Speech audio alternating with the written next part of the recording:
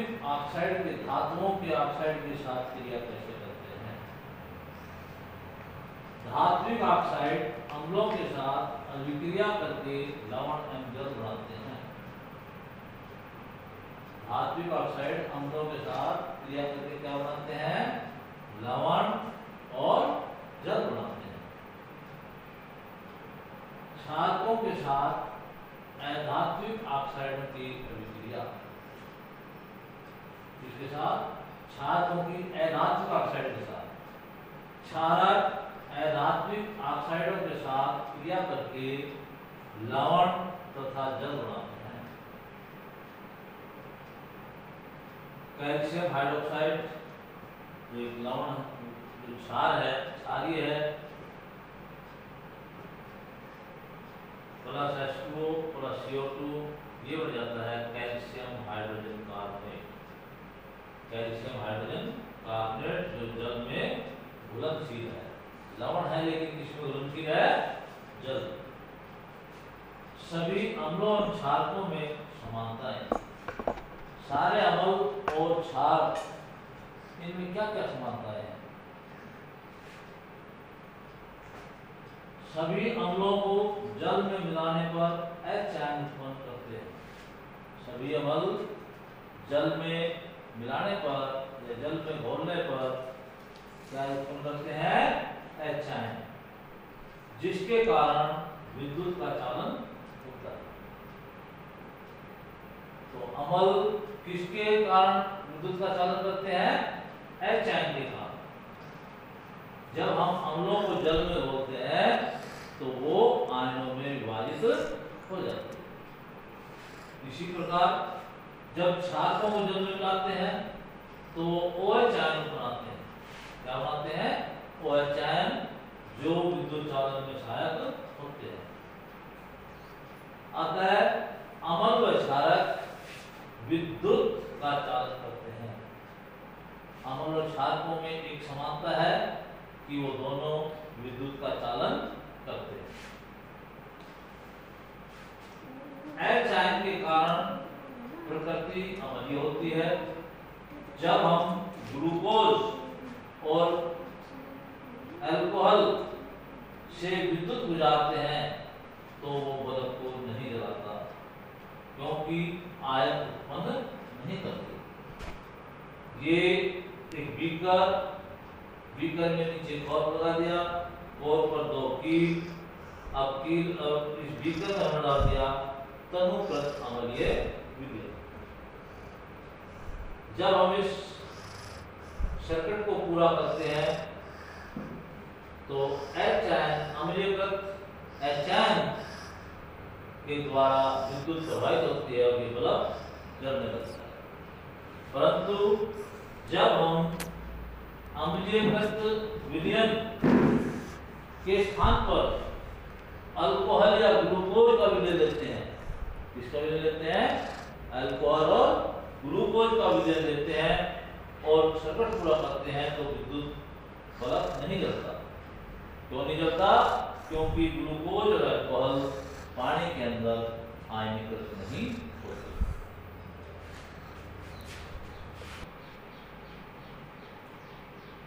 अब हम जलीय विलय में अमल या क्षारक का क्या होता है? जब अमल और क्षार को जल में घोड़ते हैं तो क्या उत्पन्न होता है? अमल जल की उपस्थिति में एच आयन का निर्माण करते हैं। जब हम जल को अमल में मिलाते हैं तो वो एच आयन बनाते हैं। जल की अनुपस्थिति में एच आयन उत्पन्न नहीं करते। अमल जल की अनुपस्थिति में एच आयन उत्पन्न नहीं करते। इसलिए शुष्क हाइड्रोक्लोरिक अमल अम्लीय प्रभाव नहीं दिखाएगा HCl H2O HN plus chloride hydrogen ion स्वतंत्र नहीं रह सकते। हाइड्रोजन आयन स्वतंत्र नहीं रह सकते। अतः वे जल के साथ मिलकर हाइड्रोनियम आयन बनाते हैं। जल के साथ एच आयन मिलकर कौन सा आयन बनाते हैं? हाइड्रोनियम आयन बनाते हैं। प्लस एच टू ये बनाता है एच थ्री ओ यानी हाइड्रोनियम आयन क्षारक को जल में मिलाने पर OH ion means hydroxide ion प्रदान करते हैं। जल में घुलनशील क्षारक क्षार कहलाते हैं। क्षार कौन से हैं? जो क्षारक जल में घुल जाते हैं उनको हम क्षार कहते हैं।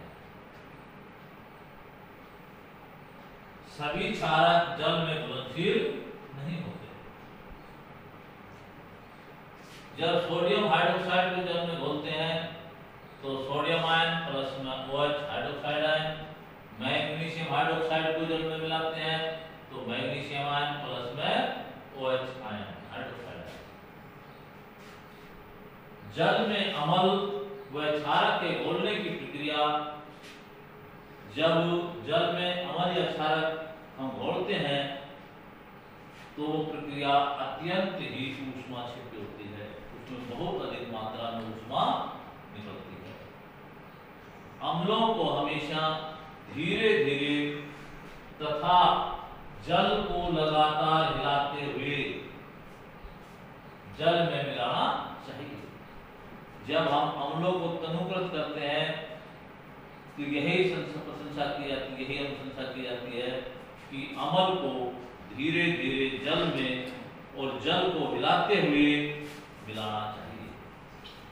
सांद्र अमल में जल डालने से प्राप्त ऊष्मा के कारण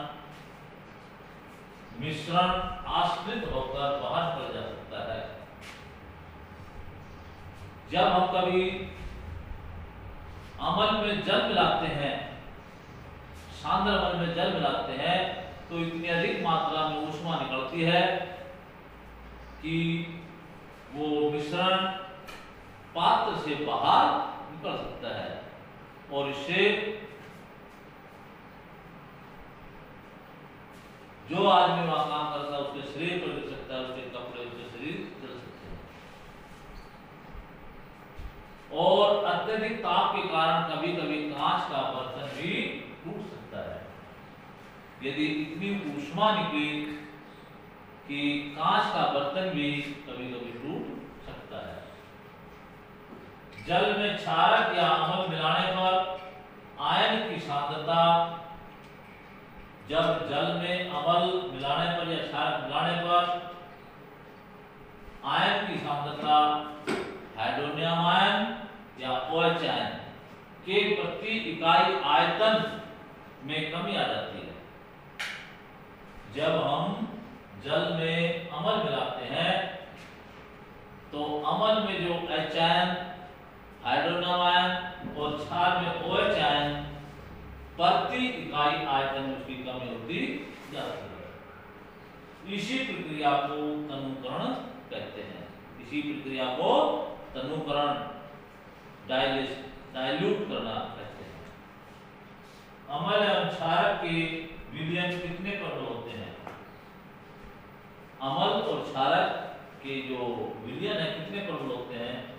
किसी विलयन में उपस्थित हाइड्रोजन आयन की सांद्रता का पता लगाने के लिए एक स्केल विकसित की गई, जिसे पीएच स्केल कहते हैं। यह पता लगाने के लिए कि अमल और क्षारक विलयन कितने प्रबल हैं, कितने कमज़ोर हैं। इसका पता लगाने के लिए एक पीएच स्केल विकसित किया गया।